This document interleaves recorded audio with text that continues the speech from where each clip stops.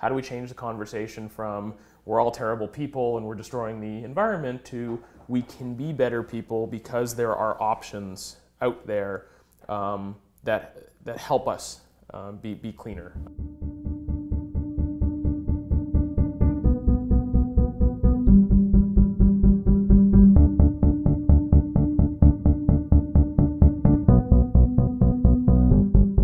You don't see that when it's 5.30 and you've just come home and you've turned on your oven and your thermostat's on and you're opening and closing the fridge and the kids have come home and turned on the TV, that um, we've had to ramp up a coal burning peaker pan to be able to handle that increase in demand.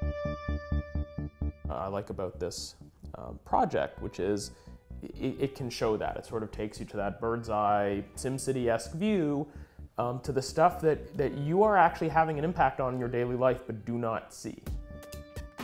So this demonstration, I, I, think, is a great way to show people that, well, no, actually by making small adjustments, we can really cut off some of those older, unclean, um, environmentally very unfriendly technologies out of our power grid.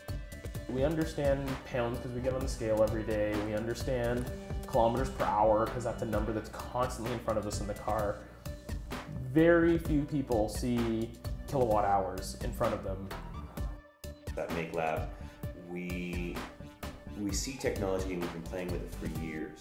Understanding where this technology has been and where it's leading to was not so much a challenge as an exciting endeavor to say, how can we visually represent that so that somebody who isn't as involved in technology can understand it easily and try to be involved and want to learn more.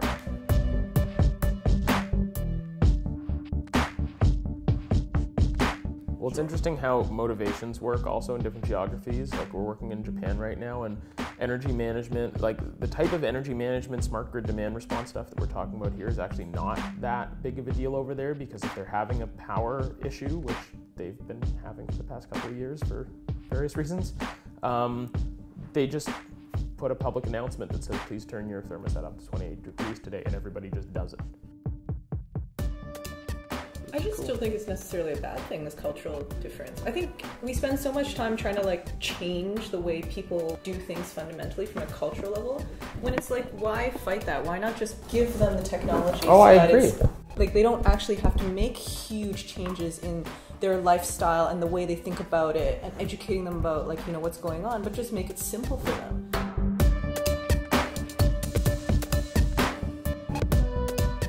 Lot needs to change under the hood in a way that almost nothing changes on the surface. And we've seen that work, right? Like, you know, the government increases uh, fuel efficiency regulations and some of the car manufacturers complain and then five years later everybody still has cars and everything works fine and you know, you still they still somehow get a good zero to sixty rating out of out of uh, vehicles, uh, and yet they use far less fuel than they did before. And so no one's life changes, but we've all saved a lot of energy.